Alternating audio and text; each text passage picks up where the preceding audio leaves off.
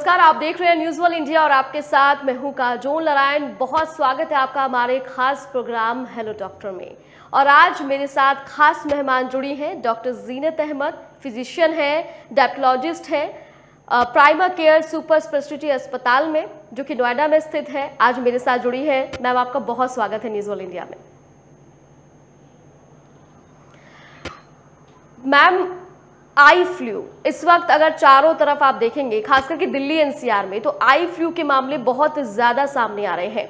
Eye flu को बहुत ही जो आम बोलचाल की भाषा में देखा जाए तो बहुत नॉर्मली लोग देते हैं कि आँख आ गई है, लेकिन इसको समझने की कोशिश नहीं करते हैं। तो सबसे पहला सवाल ये कि आई फ्लू होता कैसे है? जी, eye flu is an inflammation और इन्फेक्शन ऑफ़ द कंजंक्टिवा ये कंजंक्टिवा जो होता है ये एक थिन लेयर ऑफ़ टिश्यू होता है जो हमारे आँखों के इनर लेयर को कवर करता है। जो आँखों का वाइट पार्ट है उसको कवर करता है। हम्म। जी। तो ये होता है आई बचाव के yes. क्या यहाँ पर कैसे बचाव किया जाए? और क्या ये आ, सिर्फ़ आँखों में देखने से होता है या अगर आप आ, किसी सतह पर अपने हाथ रखते हैं, अपनी आँखों को, जो कि पर्सन इन्फेक्टेड है, वो अपनी आँखों को टच करता है या किसी सतह पर रखता है, फिर आप उसी पर अपने हाथ रख के अपनी आइज़ को टच करते हैं। क्या ये है? या फिर जो मिथ फैला हुआ है कि आँखों में देखने से फैलता है, ये सच है?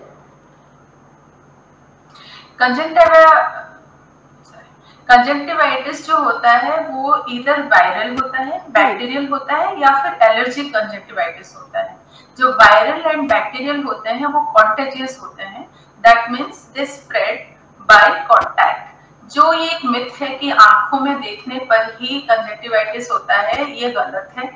देखने से नहीं फैलता ये ये छूने से फैलता है। अगर आप बार बार इन्फेक्टेड आई को टच करेंगे और आप उसी हाथ से कहीं पर आप टच जो सरफेस है आप वो टच करते हैं तो उसमें वायरस कुछ घंटों तक लाइव रहते हैं। तो वहाँ में वो जो टच होता है, वही स्प्रेड का कारण होता है।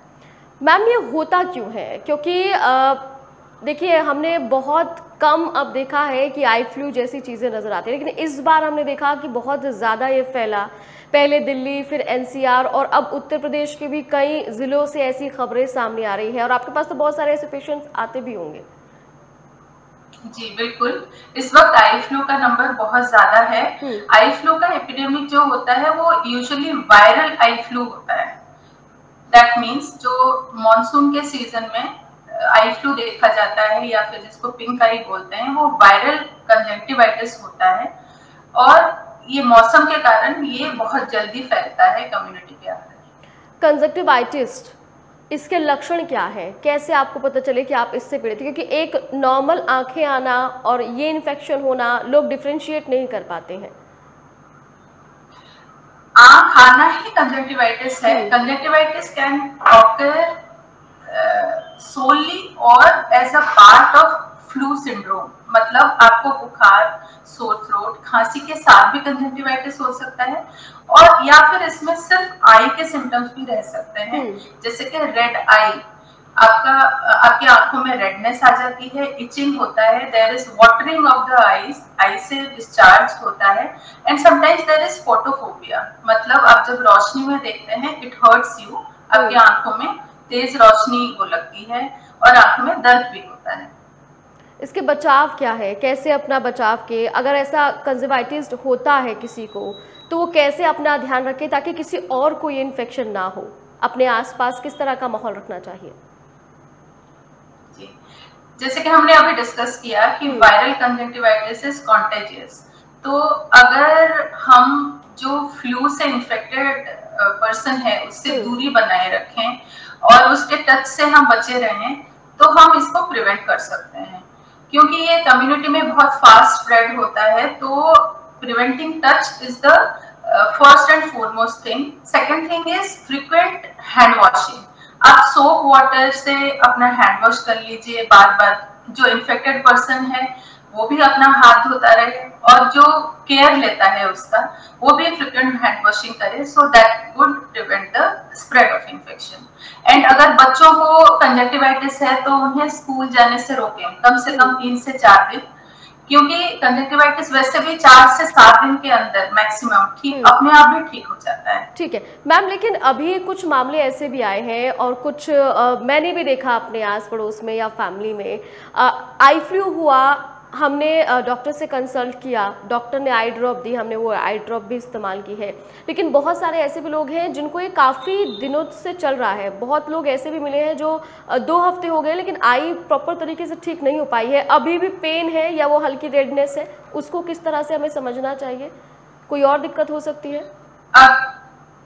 यस yes, अगर एक हफ़्ते से ज़्यादा रेडनेस रह रही है या फिर सिम्टम्स कंटिन्यू कर रहे हैं then you must consult an ophthalmologist क्योंकि आई के डॉक्टर फिर देखते हैं कि कंजक्टिवाइटिस में कोई कॉम्प्लिकेशन ना आ गई हो। Uncomplicated cases they should you know recover within seven days seven to ten days maximum. But beyond that period you should always consult a ophthalmologist. ठीक है। और इसके अलावा ये भी मैं जानने की कोशिश करूँगी ये कितना हार्मफुल हो सकता है अगर आप वक्त रहते डॉक्टर से कंसल्ट नहीं करते हैं अपनी आँखों का ध्यान नहीं रखते हैं। देखिए कंजक्टिवाइटिस अगर प्रॉपर ट्रीट ना करें तो उसमें स्पॉन्टेनियस हेमरेज हो सकता है और अगर इन्फेक्शन ज़्यादा स्प्रेड करे तो उसमें सेकेंडरी बैक्टीरियल इन्फेक्शन के कारण वो that can affect the inner layer of the eyes which is actually rare but हमें ध्यान रखना चाहिए और डॉक्टर की सलाह लेनी चाहिए। ठीक है। इसके अलावा देखिए मैम, हमने आई फ्लू पर बात कर ली है, लेकिन बरसात के मौसम में बहुत सारी ऐसी बीमारियाँ होती हैं जो बहुत ज़्यादा बढ़ जाती हैं। As a physician general physician अगर आपसे मैं पूछूँ कि बरसात के मौसम में कौन कौन सी ऐसी बीमारियाँ हैं जो बहुत ज़्यादा गंभीर हो सकती हैं, जिसके लिए हमें पहले से ही प्रिपेयर रहना है। जी बारिश में फैलने वाली जो बीमारियाँ होती हैं वो यूजुअली इन्फेक्शियस होती हैं। हम्म। मतलब बैक्टीरियल या वायरल इन्फेक्शन बहुत जल्दी फैलता है बारिश के मौसम में।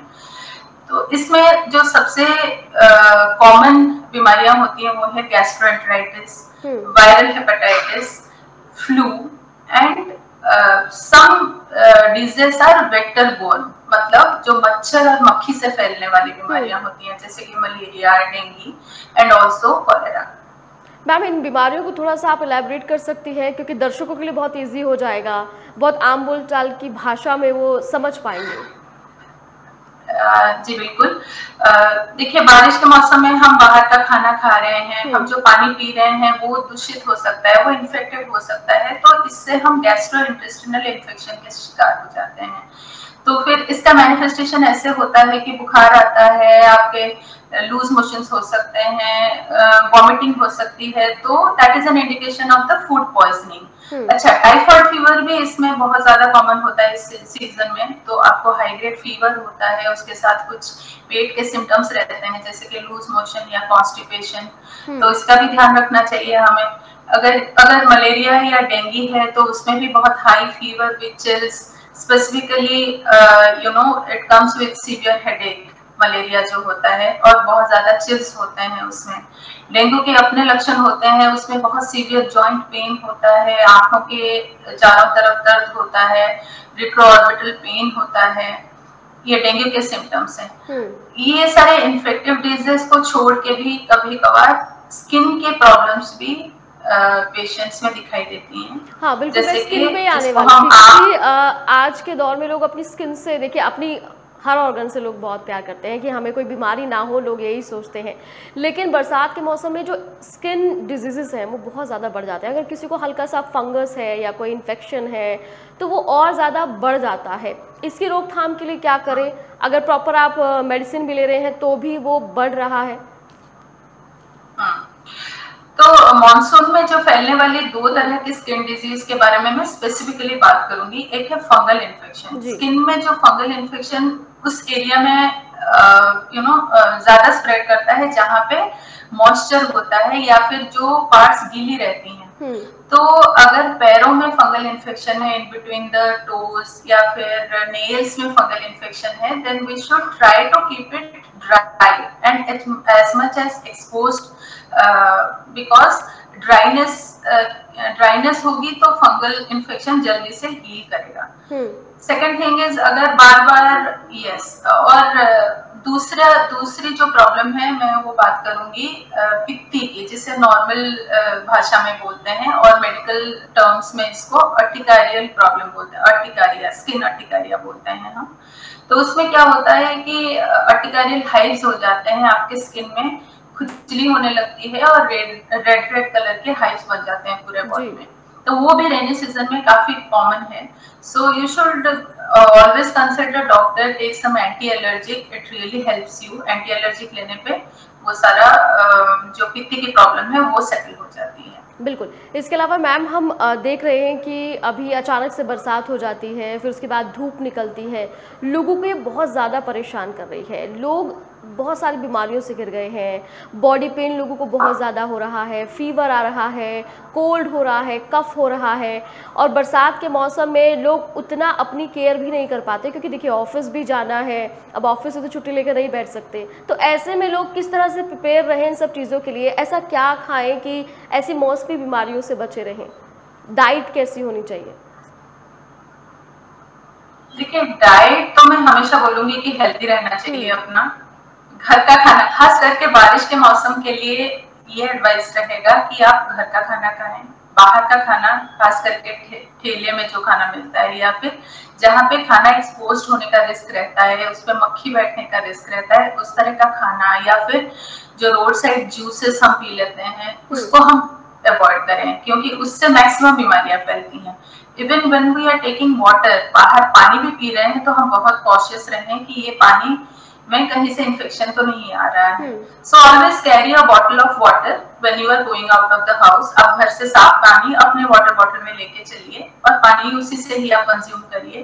बाहर का खाना अवॉइड करिए। एंड यस ऑफ़ कोर्स बारिश से बच बारिश और धूप से बचने के लिए छतरी लीजिए। Because when we are expose to change in temperature in the atmosphere तो उस टाइम पे हमारी इम्यूनिटी लो होती है and we catch all kind of viral infections and bacterial यानी हमें अपनी इम्यूनिटी पर भी बहुत ज़्यादा फोकस करने की ज़रूरत है। अपनी इम्यूनिटी अच्छी रखनी है। मैम देखिए यंगस्टर्स तो अपना ध्यान रख सकते हैं जो ऑफ़िस जाते हैं लोग वो भी अपना ध्यान रख सकते हैं। लेकिन बच्चों और बुज़ुर्गों का ध्यान कैसे रखा जाए? क्योंकि कई बार वो नहीं समझ पाते। मासूम बच्चे तो नहीं समझ पाते। वो बारिश में भी खेलना है उन्हें कीचड़ में भी जाना है। जी बिल्कुल। छोटे बच्चों का हमें स्पेशली ध्यान रखना है कि जब वो खेलने जाएँ they should be properly covered मतलब आप अगर बच्चा गार्डन में खेलने जा रहा है या फ़ील्ड में खेलने उतर रहा है तो आप ध्यान रखिए कि वो फुल शर्ट और फुल पैंट पहने पहने because that is important to prevent mosquito bite mosquito bite हम अगर प्रिवेंट करेंगे तो हम डेंगू और मलेरिया से बच सकते हैं।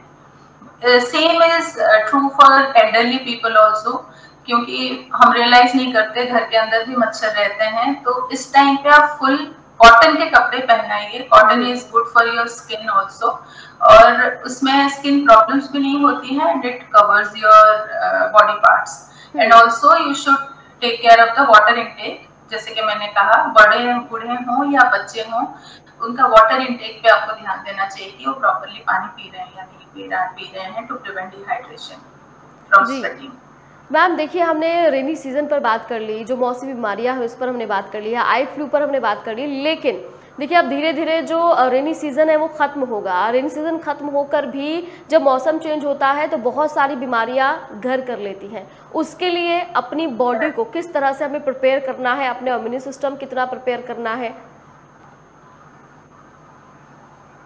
देखिए चेंज ऑफ़ सीज़न में यस हमारी बॉडी की इम्यूनिटी कम हो जाती है। तो मैं आपको जनरली स्पीकिंग इम्यूनिटी को कैसे बनाया रखा, रखे, रखा जाए, उसके बारे में मैं आपको बता रही हूँ।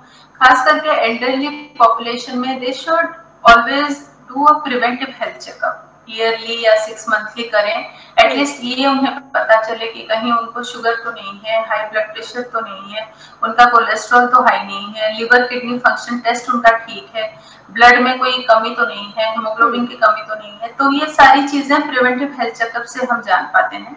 ये पहला स्टेप होता है कि हम जाने अपने बॉडी को ब्लड टेस्ट करें और एक रूटीन हम फिजिशियन से चेकअप करवा लें if we are above 45 second thing is please take care of your diet and water intake as I told you healthy diet में हमेशा you should you know avoid fatty food you should take low carbohydrate diet and you should focus more on vegetables and fruits in your diet because fruits और vegetables में antioxidants होते हैं build up the immunity in our body ma'am, देखिए, आप diabetologist हैं तो इस पर भी एक सवाल बनता है कि आपके पास बहुत सारे ऐसे पेशेंट्स आते होंगे चेकअप कराने के लिए तो क्या उनको अलग से कुछ ध्यान रखने की ज़रूरत है, जो ऐसे पेशेंट होते हैं, जो डायबिटिक होते हैं? रेनी सीज़न में। डायबिटिक रेनी सीज़न में स्पेशली तो मैं ये नहीं बोलूँगी कि उन्हें कुछ एक्स्ट्रा करना है but yes you should always take care of your blood sugar कि वो अगर कंट्रोल में है, आपकी फास्टिंग सही चल रही है, आपकी पोस्ट ब्रैंडियल मतलब खाने के बाद वाली शुगर सही चल रही है एंड uh, अगर बाकी चीज़ों का भी ध्यान है इस टाइम पे diabetic patients are more prone to you know develop fungal infection of their nails and toes and feet तो उसको वो हर दिन ध्यान से देखें अपने फीट को एग्जामिन करें उसको ड्राई रखने की कोशिश करें।